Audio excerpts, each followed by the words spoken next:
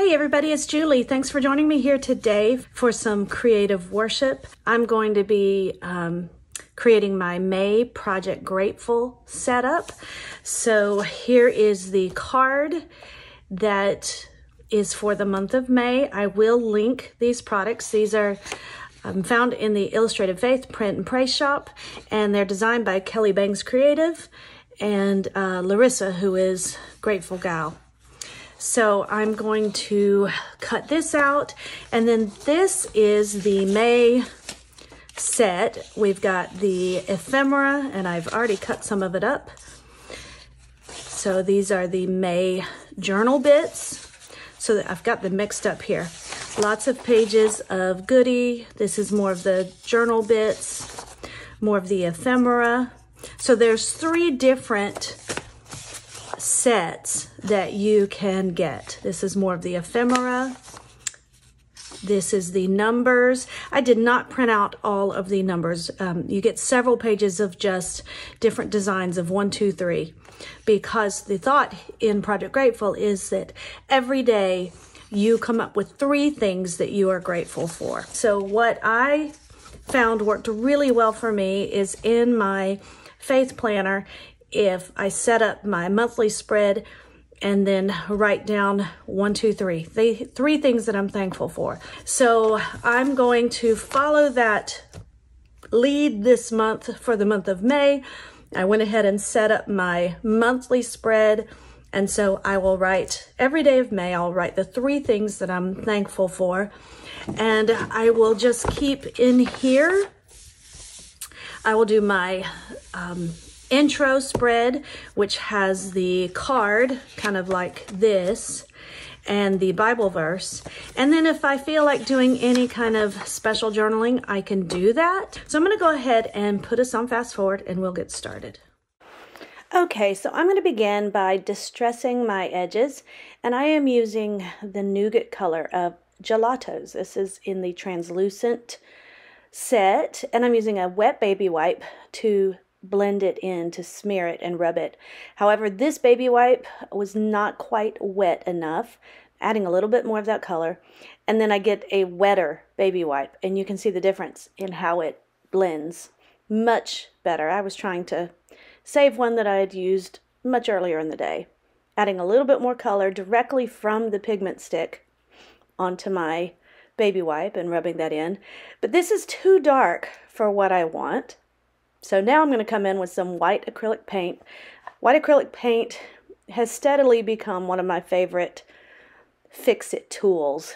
Um, I also love it just to add some some texture and multimedia mixed media effect.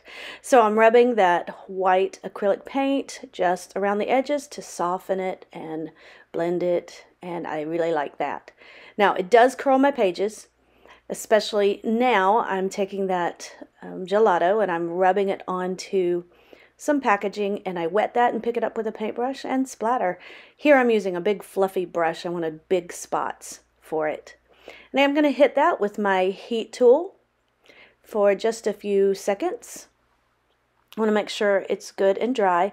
However, like I said, it curled my pages. So you can see now I've put some paper clips along the edges to help um, hold those and kind of get them back in place. Now what I did is I went ahead and cut out all the pieces that I wanted and I've kind of placed them where I think I want them to go and now the rest of this is just going to be basically um, adhering them into place. So I've I'm using bits and pieces from the ephemera set, from the journal bits, and um, I think that's it. Actually, the numbers come from the numbers um, set. So there are three different sets that I'm using here. They are all coordinated for the month of May. And each month she releases a new set of sets. Okay, so over on this left, I am signifying that there are going to be three things that I'm grateful for. I'm using a combination of my tape runner and my Bearly Art craft glue for these pieces that are small. I find that the Bearly Art craft glue with this precision tip works really, really well. But that's also where my tweezers come in. because it helps to be able to pick up those pieces, hold them in place, not get glue all over my fingers. So I'm saving a little spot there where I'm going to stamp the word May. And now I'm taking this pocket and I'm destructuring it because I want deconstructing it, cut it apart because I want to extend the um, pattern. I just love that pattern. And so I want it to go in the back behind this card. taking my bone folder and just going across the line and then folding that. And I'm going to place that down. But I'm just trying to figure out how this is going to work so that I have the pattern behind it. And I don't really want that line. So I'm going to fold that piece down, the top part, so that it also will adhere down. Use my Bearly Art craft glue and just a thin strip at the bottom going ahead and putting the pocket down and now I'm going to figure out how this piece will work, where exactly I should place it. And I'm just going to stick it up there as high as it goes and still peeks out from the pocket. That way I have both of those, the front and the back with that pattern. Okay, now this particular piece that I cut out is a stamp, a postage stamp but I really wanted to get the postage stamp look and I didn't want to fussy cut all around those tiny little half circles that are in there like a postage stamp. So I'm using, I think it's a 1 8th or a 1 16th hole punch. I'm just kind of chomping it off the edges. It's not precise, it's not perfect, but it gives it that postage stamp look. And I cut off a little word May from the actual title. And I did print one of those pockets in cardstock so I could use that for a tab punch. So I'm to I punched that out with my We R Memory Keepers tab punch. And now you just see I get little pieces, the labels from Project Grateful, and I wanted that to be up at the top with my month for May. So that's going to be kind of my cluster, my bookmark cluster. There we go. I'm going to stick that down.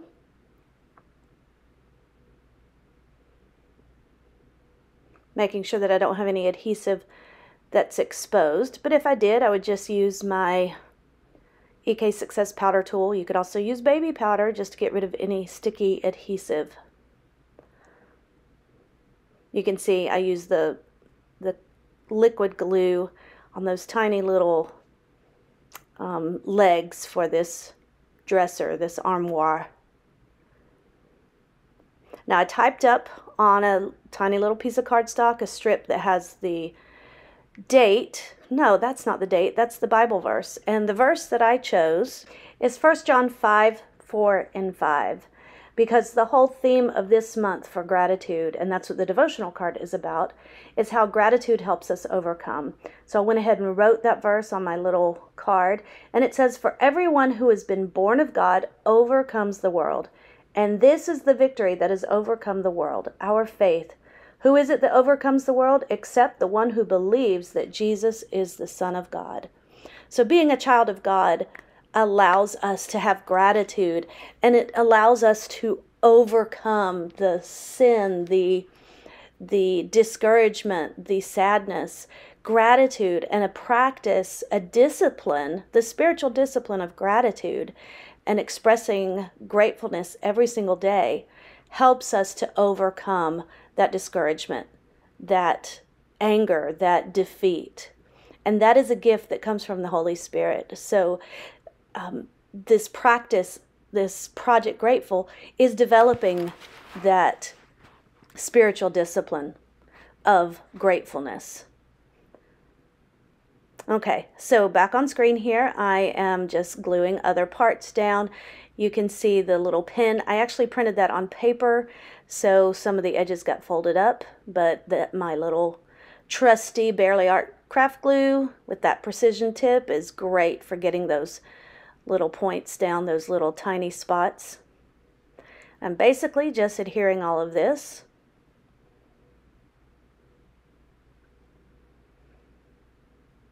There's the other pin, and this time I'm conscientious about getting the points, those thin pieces. I do get a little bit of glue that comes out, so here's where I use my powder tool. to get rid of that stickiness. And now this stamp set is called In Stitches and it's from Sweet and Sassy Stamps. And I'll also come in with a smaller font stamp set called Mini Bold. I like this particular one in Stitches. I thought it had kind of that uh, vintagey look, feel, that vibe. And I could also add in color. So I'm going to color that in with the gelato.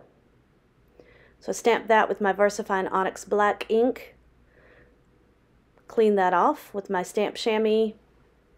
And now I'm going to stamp the word in. So it's going to say, so grateful in May. Line up my pieces on my block, little alpha, the little stamps, and then stamp that, put that away. And now here, I'm again, you saw me do this earlier. This time I'm going to use an aqua brush. You can also use just a thin paintbrush. Pick it up. This aqua brush already has water loaded into it, so it's a very handy, a handy dandy paintbrush. I'm using the same color, the nougat color, to color in these letters to spell the word May. And then I decide that I need to move this piece up a little bit just for balance. And when I do, I rip a little bit of it. But there's a fix for that. I thought I'd take some of that color from the um, aqua brush, but that was too wet. And then I thought I'd take my quick stick, but that was too dark. Quick stick just uh, picks up ink on like a little foam brush. So that's where washi tape comes in. So I use the same washi tape that I adhered the journaling card. And I'm just going to add that in, few in a few places around my page. Make a little tag with my tiny attacher and that washi tape so that you can pull that card up and down. I'm going to add some up to the tab up at the top right. Then a little bit underneath that ticket that says I think it says so grateful.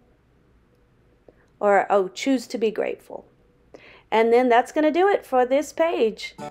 Thanks for joining me here today. If you have any comments or questions on this process or on these products, then leave them in the comment section. Here's some close-up shots.